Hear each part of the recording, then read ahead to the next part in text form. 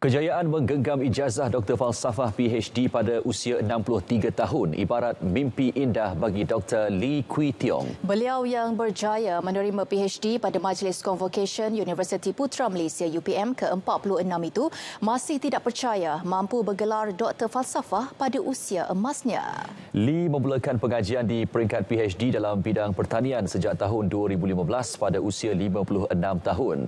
Mengakui hampir putus asa di pertengahan jalan namun sokongan keluarga menjadi dorongan utama Lee terus konsisten menghabiskan pengajiannya. Siap sedia dulu dari segi maknanya perlu ada research uh, method punya background semua tu kena baca banyak buku ataupun paper lah baru boleh. Kalau tidak memang susah. Sebab saya pun menghadapi masalah Hafiz pun fikir pun nak nak berhenti juga sebab dah memang tak tahu nak, macam mana nak jalankan. Sebab PhD tak macam degree ataupun tak macam master. Ada orang boleh bantu you. Tapi yang PhD lecturer kata supervisor kata ini semua bergantung kepada you.